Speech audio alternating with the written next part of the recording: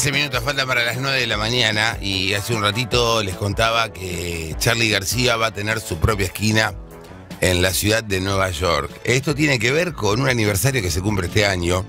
El 5 de noviembre de este 2023 se van a cumplir 40 años de la salida de un disco emblemático, un disco clave de la historia del rock nacional, que es Clicks Modernos.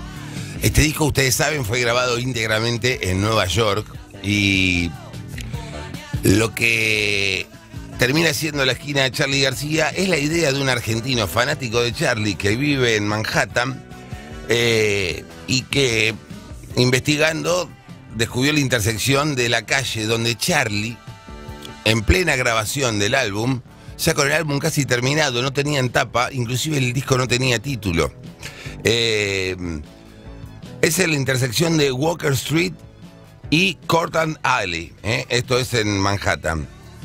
Bueno, Charlie estaba grabando ahí con la producción de Joe Blaney, que también por primera vez trabajaba con Charlie García. Blaney venía de laburar con The Clash en Sandinista, un disco que a Charlie le había gustado mucho.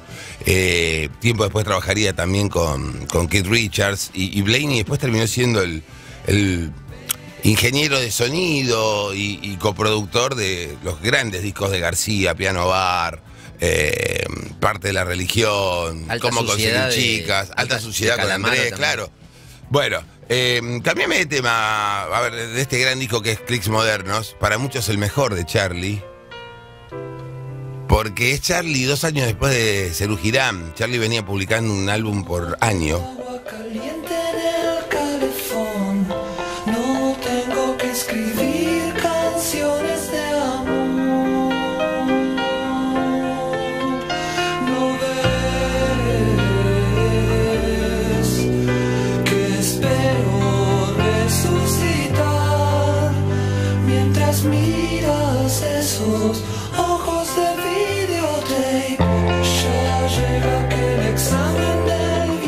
Charlie viaja a Nueva York, donde ya estaba residiendo Pedro Aznar en Estados Unidos desde hacía tiempo para tocar con Pat Metheny. Es más, Pedro Aznar es el motivo de la separación real de Cerú Girán. Eh, muchos querían que Cerú Girán continuara después de aquellos estadios de obras y Charlie, ante la partida de Pedro, que dice, me voy a estudiar música a Berkeley y también tengo una oferta para tocar con Pat Metheny, un destacado guitarrista del jazz rock. Eh, Charlie siempre quedó impactado por la figura de Pedro Aznar como músico y Aznar toca los bajos de todo el álbum. En este disco grabado íntegramente en Nueva York, donde Charlie tiene un tiempo de adaptación, eh, donde compone tres canciones que son esenciales para lo que era el disco nuevo.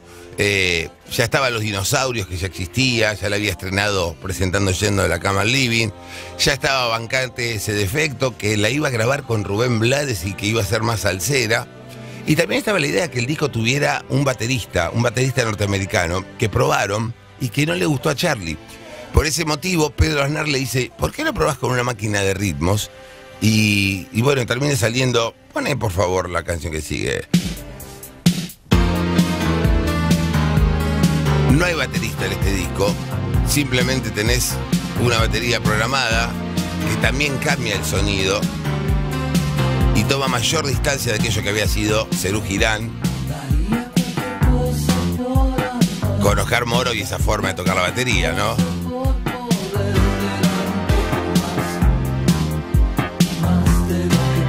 Mira cómo están los bajos de Pedro Aznar, la batería electrónica y ese sonido neoyorquino. Esta canción se llama Nuevos Trapos. Así se iba a llamar el disco de Charlie, Nuevos Trapos. Hasta que un día salen a hacer fotos para el álbum, para el sobre interno, con la idea de que se llame Nuevos Trapos, y se sacan una foto en esta esquina donde el 5 de noviembre se va a hacer formalmente a las 11 de la mañana, que fue a la hora en que se salió a la venta el disco acá en Argentina la había de fondo un graffiti que decía Modern Clicks. Era una ignota banda de Nueva York con la que no pasaba demasiado. La escuché en Spotify porque me generó curiosidad. Una banda medio pedorra. Medio pedorra, medio pedorra. Y el disco que se iba a llamar Nuevos Trapos por esta canción que estamos escuchando de fondo.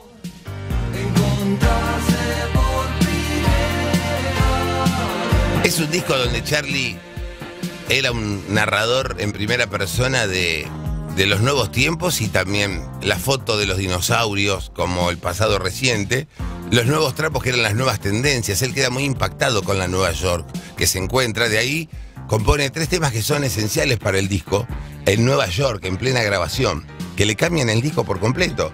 Que son el primero que escuchamos, que es Nos siguen pegando abajo, que es eh, No me dejan salir y que es la canción que sigue, porque para muchos es también símbolo de este disco. Porque para muchos es tango moderno.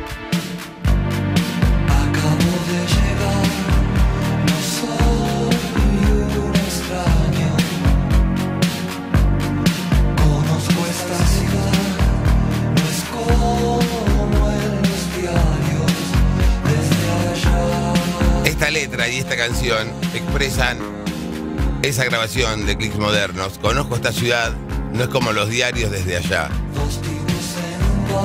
Y esa sociedad avanzada con la que se encuentra García en la ciudad, en Nueva York, en Manhattan. La dejamos para anunciarte que el 5 de noviembre se va a recrear esa tapa con ese graffiti de Modern Clicks, el disco Clicks Modernos, en Manhattan. Ojalá Charlie pueda estar ahí. Son 40 años de un disco que sigue sonando moderno. Lo disfrutamos a las 8.52.